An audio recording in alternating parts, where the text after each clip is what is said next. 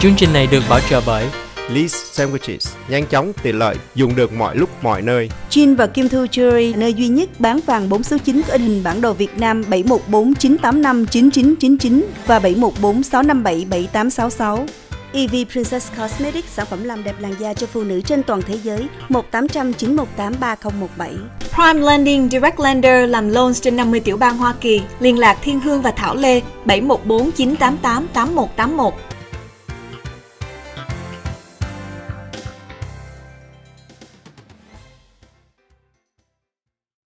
Kính thưa quý vị, sáng nay thì tên tờ Tuổi Trẻ được phát hành ở tại Sài Gòn đã cho thấy một cái tin về phía nước bạn láng giềng của Việt Nam đó là Campuchia.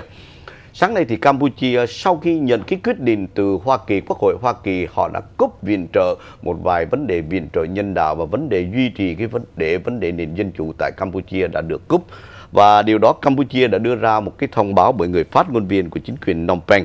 Campuchia thấy buồn và sốc sau khi quyết định ngưng viện trợ của Hoa Kỳ.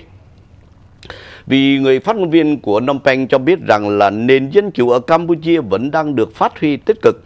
Kính thưa quý vị, ngay sau khi quyết định cắt giảm viện trợ Mỹ ngày 26 28 tháng 2 năm 2018, chính quyền Campuchia cho biết lấy làm buồn và bị sốc trước quyết định không tôn trọng đóng trong một kép của Mỹ về cái việc cắt giảm các chương trình viện trợ do cách nhìn nhận về nền dân chủ tại Campuchia. À, chắc quý vị đã biết Campuchia đã được điều hành bởi một vị thủ tướng mà có thể nói là trên ba mươi mấy năm nay. Ông Phay Sifan là người phát ngôn của chính quyền Phnom Penh đã nói với hãng tin Reuters rằng đâu có buồn, dẫu có buồn và sốc vì quyết định của đất nước thân thiện trong hỗ trợ phát triển Campuchia và vẫn tự hào về việc tích cực duy trì và tiếp tục phát triển nền dân chủ ở đất nước mình. Kính thưa quý vị, vì đại diện phát ngôn gọi việc cắt giảm viện trợ của Mỹ là không tôn trọng và không trung thực cho quá trình tạo dựng một nền dân chủ ở Campuchia. Dân chủ là của nhân dân chứ không phải là của đảng nào đã bị trút phế. Việc này liên quan đến một trong những vấn đề mà ông Faison giải thích rằng hàm ý nhắc đến việc đảng đối lập cứu nguy dân tộc Campuchia đã bị giải tán hồi trung tuần tháng 11 năm 2017. Chắc quý vị biết Campuchia hiện nay, ngày nay, người ta nói đến vấn đề dân chủ ở đây. Tuy nhiên, một trong những cái chế độ đã được lưu giữ gần trên ba mươi mấy năm mà một trong những đảng phái đối lập, tiếng nói duy nhất ở đối lập ở Campuchia thì đã bị giải tán. Điều này đã gây nên một cái sự quyết định của Quốc hội Hoa Kỳ là cắt giảm viện trợ của Campuchia và gây nên một cái sốc rất lớn cho người dân Campuchia, thưa anh Tuấn. Trong cùng lúc đó thì trong uh, chuyến viếng thăm sắp tới của hàng không mẫu hạm USS Carl Vinson sắp tới đây ở ngay tại Đà Nẵng thì uh, cho tới ngày hôm qua đã có ít nhất là 5, 15 những vị cựu quân nhân, những người Mỹ đã từng tham chiến ngay tại Việt Nam đã rời phi trường Los Angeles để về thăm Đà Nẵng, Đà Nẵng ở trong một trong một cái chuyến viếng thăm họ gọi là thăm lại nơi mà họ đã từng tham chiến 50 năm về trước thưa anh. Kính thưa quý vị, vào ngày 8 tháng 3 năm 1965, những quân nhân thủy quân lục chiến của lữ đoàn 3 thủy quân lục chiến đã đổ bộ vào một cái bờ biển gọi là Rex China. Và đến bây giờ sau 50 năm, 14 quân nhân của thủy quân lục chiến và một quân nhân của bộ binh Hoa Kỳ đã đến tại thành phố Đà Nẵng. Họ đã được tiếp đón và di chuyển bằng một chiếc xe Jeep một của quân lực Hoa Kỳ sử dụng vào thời điểm đó. Và họ đã đi đến những cái nơi mà trước đây họ là những người đã cầm súng để chiến đấu gọi là bảo vệ cho một cái sự tự do vẹn toàn lãnh thổ của Việt Nam Cộng Hòa. Tuy nhiên, đến bây giờ thì họ trở lại thăm viếng Đà Nẵng và họ đã được người dân hai bên đường khi chiếc xe Jeep của họ đi ngang qua hoan hô và đây là một trong những sự kiện tất cả mọi việc đều hóa giải. Ngày cá nhân tôi tôi đến thành phố Đà Nẵng vào lúc mà hội nghị APEC xảy ra phải nói là tôi đi cũng khắp nhiều nơi và lần đầu tiên tôi trở lại thành phố Đà Nẵng thì tôi thấy người dân ở đó họ rất hiền hòa dạ, vâng. nói họ hiền hòa và họ rất là có thể nói là uh, hiếu khách người dân ở Đà Nẵng họ rất hiếu khách khi tôi đứng ngay trên cái con đường chính của thành phố Đà Nẵng để tường trình về chuyến viếng thăm của Tổng thống Donald Trump. Khi đoàn xe của Tổng thống Donald Trump đi qua thì có thể nói rằng tất cả mọi gần trên gần 10.000 người họ đứng nghe tôi nói về cái sự yeah. kiện này. Và tôi thấy không thấy một cái sự la ó nào hay là một cái sự uh, gì. Nhưng mà với cái nụ cười và cái tiếng nói đặc trưng Quảng Ngãi Quảng Nam họ rất là Quảng Nam tôi không biết. Không nhưng, nhưng mà cho thấy họ rất là hiếu khách rất là vui vẻ. là tại vì em là người góc miền Trung Đà Nẵng luôn thưa quý vị. Nhưng mà anh Đoàn Trọng thì may mắn hơn Tuấn là anh đã được về Đà Nẵng trong khi mà Tuấn qua ở đây cả mười mấy năm vẫn chưa có cơ hội được về. À, nên thành thử ra những cái hình ảnh mà quý vị đang thấy là ở trong một cái viện bảo tàng. À, những gì mà báo chí trong nước người ta đưa tin về 15 cựu quân nhân đã gặp nhau và cũng như là đã dạo qua thành phố Đà Nẵng họ miêu tả về những cái trại những cái đồi mà trước đây họ đã từng đóng quân. Có những người à, tính lính của thị quân lục chứ họ nói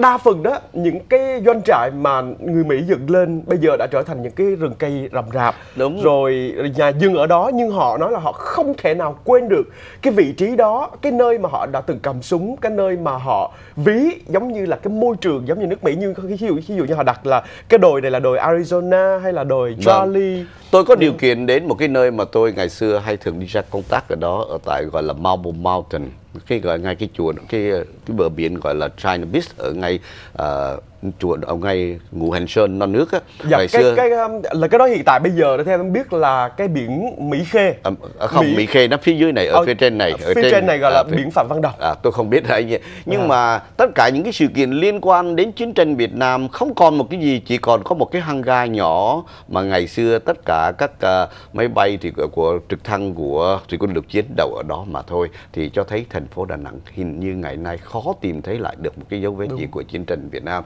à, thì chúng ta hy vọng xem vì chúng ta phải tôn trọng sự thật để xem những người lính họ đi về họ nói cái gì à, nhưng là khởi điểm của một cái sự việc gọi là trở lại sau 50 năm nơi mà họ cầm súng chiến đấu thì bây giờ họ nơi đến cầm súng để chào chào đón bởi những người dân mà họ đã từng chiến đấu ở trong khu vực đó thưa anh Tuấn. Được biết rằng sắp tới đây có thể là anh Đoàn Trọng sẽ có một cái à, chuyến tường trình đặc biệt về sự kiện hàng không mẫu hạm USS Carl Vinson ngay tại Đà Đến Nẵng bây không? giờ thì cũng chưa biết rằng là chúng tôi có thể tham dự à, như quý vị đã ấy đã thấy chúng tôi nói đến một chiếc xe là tại sao mang số 43A hả? Dạ số 43 là cái số của, của Đà mã, Nẵng. mã à. số Đà Đây Nẵng. đây là chiếc xe Jeep M151A1 có hình của quân lực Hoa Kỳ ở bên ngôi sao đó đó. Và Là có nghĩa chiếc xe Jeep này đó họ mướn ở Đà Nẵng. À, cái này còn lại của Đà Nẵng nhưng mà Dạ. cái chiếc xe này là những chiếc xe sử dụng trong cái Dạ. thời kỳ chiến tranh tại Việt Nam. Dạ. À, chiến tranh Việt Nam đó là những chiếc xe này sau được bàn giao cho quân lực Việt Nam Cộng hòa.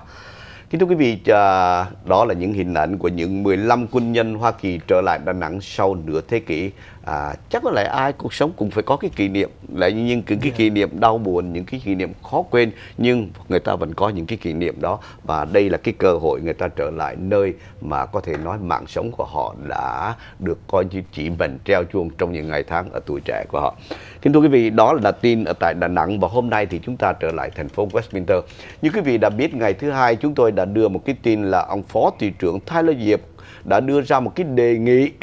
là sẽ gia hạn và tổ chức một cái cuộc bầu cử để người dân lấy kết quả của người dân. Có việc là liệu có tín nhiệm và thay đổi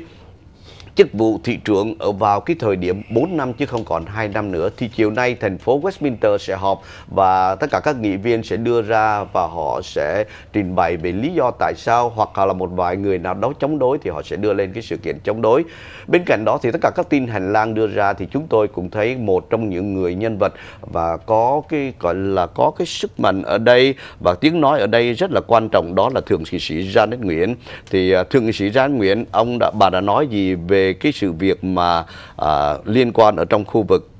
của bà về vấn đề gia hạn và ý kiến của bà như thế nào này đây là một trong Vâng. những Vâng thưa quý vị, à, một bản thông cáo à, báo chí được đưa ra à, từ bên phía văn phòng của thượng nghị sĩ Janet Nguyễn à, gửi cho bên phía ông à, thị trưởng của thành phố Westminster đó là ông Trí Tạ cho biết rằng à, bà không ủng hộ về việc mà sẽ có một sự gọi là thay đổi trong cái nhiệm kỳ thay vì nhiệm kỳ 2 năm đến 4 năm ở ngay tại vị trí thị trưởng của thành phố Westminster thưa quý vị. À, cái tin tức này được đưa ra sau khi mà ông phó thị trưởng đó là ông Tyler Diệp đã đưa ra ý kiến đề nghị rằng bởi vì hiện tại bây giờ, cứ mỗi 2 năm thì một lần phải bầu cử và về chức vụ thị trưởng với vị trí 4 năm so với lại vị trí nghị viên của thành phố. Gây ra một sự tốn kém cũng giống như là ông thị trưởng lúc bấy giờ không có thể nào mà có thể có đủ thời gian để hoạt động và thành lập hay xây dựng một à, dự- án nào đó. Nên với chi phí mà phó thị trưởng à, Tyler Diệp sắp tới, ông nói rằng sẽ tốn khoảng 83.000 đô la để đưa ra một cái vụ bầu cử đặc biệt. Và theo đó, nếu như mà bên phía ủy à, ủy ban hội đồng của thành phố, nếu đạt được con số là 3 trên 2 số phiếu ủng hộ, thì sẽ được đưa ra cho bên phía những cử tri. Người ta có cho biết rằng họ có đồng ý về chuyện mà thay đổi nhiệm kỳ hay không cũng theo như bên phía ông ờ, thị trưởng ông phó thị trưởng Thay Lơ Diệp thì hiện tại bây giờ ngay tại toàn à, của của quận Cam thì có hai thành phố là với cái nhiệm kỳ 4 năm đó là thành phố Anaheim và thành phố Orange County. Nhưng mà ở trong à, người dân đó người ta cũng người dân nhất là thành phố Westminster cũng có những cái ý kiến thuận và trái chiều khác nhau. Thì à, đây là một trong những cái cơ hội để bộc lộ cái tinh thần dân chủ. Tôi có phỏng vấn ông uh, phó thị trưởng Tyler Diệp và ông đã thẳng thừng cho biết rằng là việc trước tiên chúng tôi là những nghị viên và chúng tôi nhận thấy có những cái điều nào có giá trị và làm cho cái thành phố hoạt động một cách hữu hiệu hơn. Thì chúng tôi đề nghị ra đó là cái bước thứ nhất. Và bước thứ nhì là hội đồng thành phố liệu có chấp nhận hay không đó là vấn đề tùy thuộc vào năm nghị người à, hiện nay đang điều khiển thành phố. Đó là bốn nghị viên và một ông thị trưởng thị trưởng tạ Đức Trí phó thị trưởng và đồng thời là nghị viên của thành phố tạ, à, Westminster đó là ông Tyler Diệp, bác sĩ Kimberly Hồ, uh, à, bà Rice và ông Concentrus là Concentrus là một trong những người có thể quyết định về cái vấn đề liệu họ thành phố họ quyết định liệu có đưa ra cái sự việc này vào tháng 8 để cho người dân quyết định hay không. Và sau khi nếu họ chấp thuận được thành số tối đa cái đa số thì cái nghị quyết này sẽ được đưa ra và tổ chức vào tháng 6 tới đây qua một cái cuộc bầu cử và theo như lời của Phó thị trưởng Tyler Diệp cho biết thì cuối cùng vẫn là do người dân quyết định, chứ không phải là do chúng tôi quyết định. Đó là một trong những sự việc. Nhưng bên cạnh đó thì bà Janet Nguyễn, một trong những bà vị thượng nghị sĩ, cũng là đại diện cho khu vực có sự hiện diện của thành phố Westminster. Bà đã cho thấy rằng bà không mấy hài lòng về cái sự đề nghị và cải tổ này. Một vài người thì cho rằng việc thành phố đưa ra cái như vậy thì có tính cách là có thể làm tiêu hao cái cân quỹ của thành phố mà có thể sử dụng vào những cái công việc khác. Nhưng ông Phó Thị trưởng Thái Lê Diệp thì trả lời một cách rõ ràng là cái số tiền này là số tiền thặng dư của thành phố thành cái số tiền 83.000 đô la để dự trù cho cái vấn đề sử dụng cuộc bầu cử này cũng không phải là một cái vấn đề gây khó khăn cho thành phố thưa anh Tuấn. Và ngoài ra ông Phó Thị trưởng cho biết rằng à, 83.000 đô la sẽ à, được à, coi như là chính quyền thành phố à, tiết kiệm hơn cho chính quyền thành phố qua những cái chương trình bầu cử. Vâng, yeah. Dạ. mà ông nói rằng nếu chúng ta không sử dụng 83.000 đô la đó thì cũng không có ảnh hưởng gì à, và cũng không gây nên là một cái sự là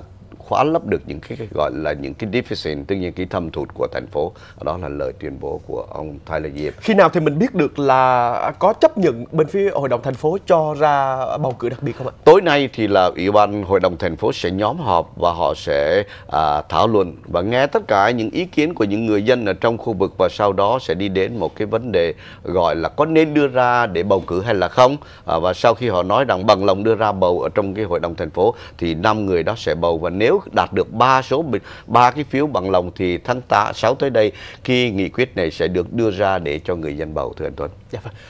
Quý vị đang cùng với anh Tuấn và đoàn trọng qua cà phê sáng và quý vị vẫn giữ 56.7 à, để cùng với anh Hoàng Trọng Thủy và Thảo Yên. Vì ở phần cuối của chương trình này chúng tôi giới thiệu đến quý vị một trong những cuộc gặp gỡ với một người gọi là kiến thiết uh, kiến trúc sư hay là dạ, nhà thiết kế nhà thiết kế nhà thiết kế Patrick Phạm người Mỹ ở uh, người Việt Nam gốc Pháp trình bày về cái sự kiện vào ngày mùng 4 tháng 1 tới đây tại Hollywood và chúng tôi trở lại với quý vị trong giây lát.